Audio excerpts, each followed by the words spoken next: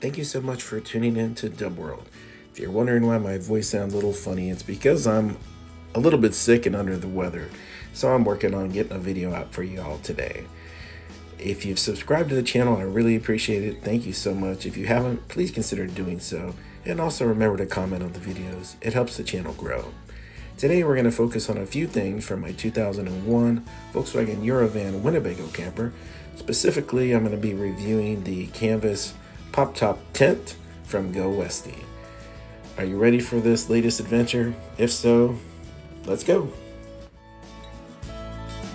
So I wanted to give you guys a brief overview of this pop top canvas tent that I got. Actually, it's an acrylic tent from Go Westy. So I installed this as a replacement for the original one that was on my 2001 Eurovan full camper.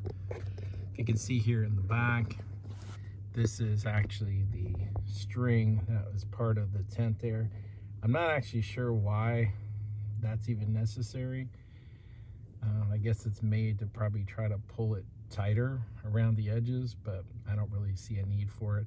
I thought about cutting it, but in the end, I just left it like that. It's no big deal. So there is a bead that runs along and that rope forms the bead. So what happens is you have to put the metal track, and I'll show you over here. There's the bead and this retaining trim, this track here, is what holds the canvas on and holds it tight, keeps it from pulling out. Of course, the screws really keep it from pulling out. But this forms the edge. So as you can see here, this canvas is pretty loose. Pretty loose. The very top, it's kind of tight. see the edges, how it's put together. See the track here. So I determined when I went to put this on that the manufacturer that Go Westy uses for these tents made this canvas a little bit too big. So the back is kind of baggy, the sides a little bit, not much.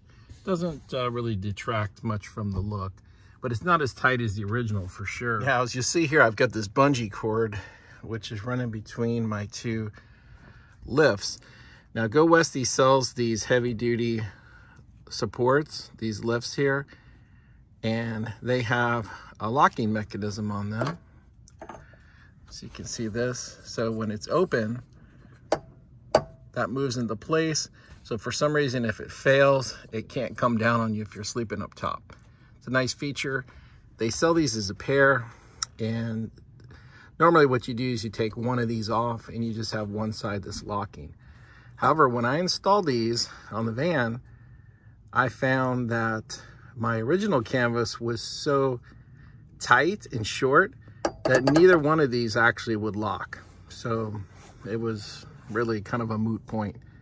However, when I put the new canvas on, not only did one of them lock, but both of them locked. So the only way I could lower the roof is to put this bungee on.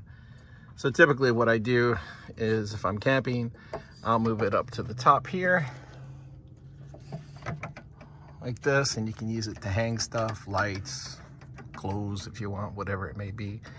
And then to lower it, I just bring it down and it pulls them together and I can lower it. Just a little uh, side note of information I wanted to talk to you about with these Go Westy new lift struts. Um, process was good. The directions, installing them was good. They talk about having to use a, a come along and some rope to install these. If you have a stretched out canvas, you may not need that method. But with my original canvas on here, the roof was so tight, I needed to be able to compress these more in order to get them on. So so I wanted to give you a general overview of what I thought about this acrylic canvas. I ordered my first one from Go Westy and when I received it, there was all sorts of blue registration marks looked like it was uh, areas where they intended to sew the canvas together, use it as uh, guide marks for the sewing. And actually, if you look right here, you can see them. There they are right there. They were all over the other canvas and they were blue. I didn't know if they were something that would come out or not. I didn't want to risk uh, possibly cleaning it and ruining it. So I contacted them, showed them pictures. They told me to send it back and they'd send out a new one. So I got it back, uh, got a new one back. I got this one. And as you can see here, it's pretty good. Um, it's not perfect. You notice, looks like it's got some extra openings there, which, you know, how this is sewn, letting a little extra light in, and it was like that from the beginning. I'm hoping this doesn't end up tearing. We'll see how the durability is with their little tiny pinholes. Um, I did like the windows in here. They're nice. It's got a flip out screen so you can access your luggage. That's really handy. Zippers seem to be decent quality. One aspect that I was disappointed in are the straps here to tie up the canvas uh, windows when they're rolled down. So you can see the ones laying inside. Original ones are gray, match the canvas. These are black. Not a real big deal, but it's a much thicker material than what was on there originally. And as you can see here, see all the fraying? Let me show you over here. Look at this. So they don't bother to finish the ends of these and it causes them to fray. So what I end up doing is I um, applied heat, actually a flame to the end here and cauterized it so it wouldn't come apart. But that's kind of disappointing.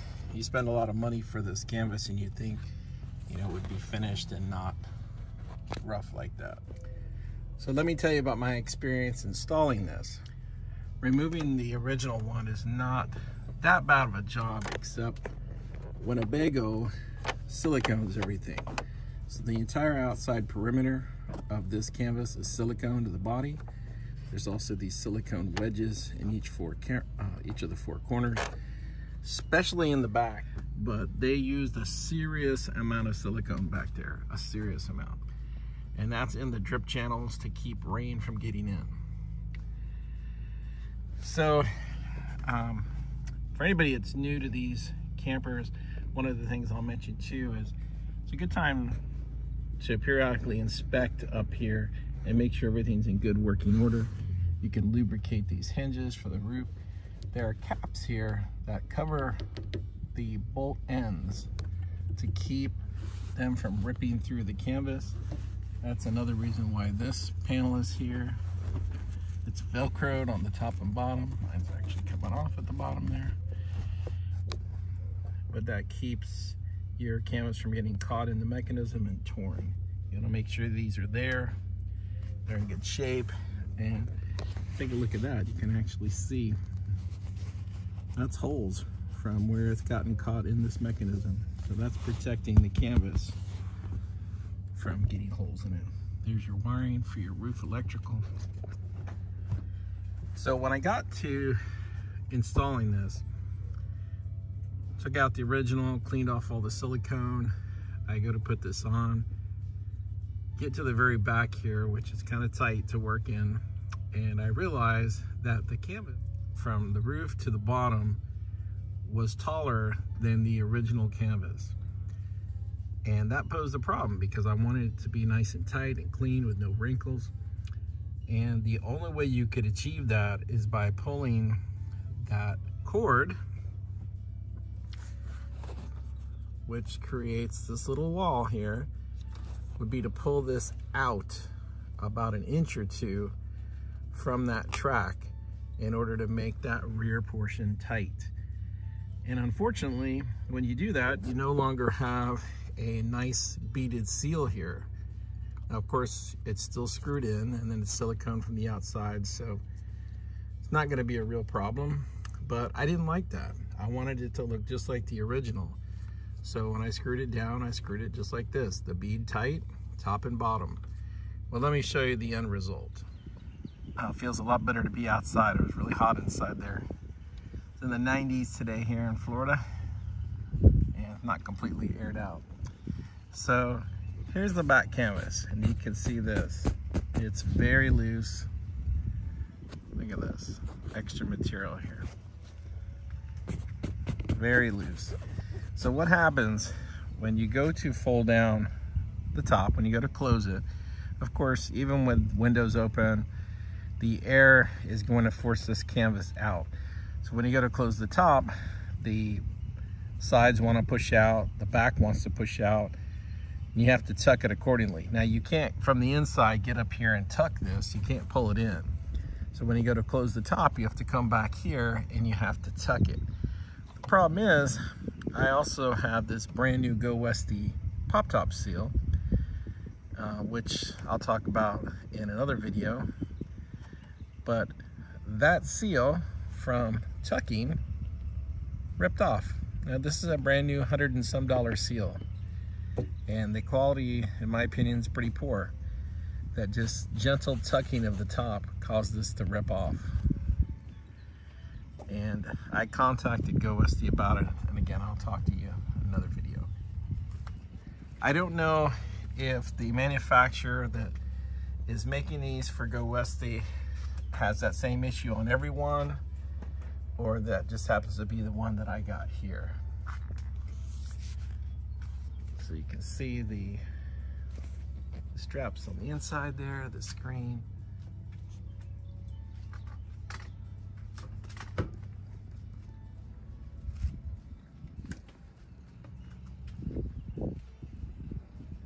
Overall, I think it's a pretty good canvas.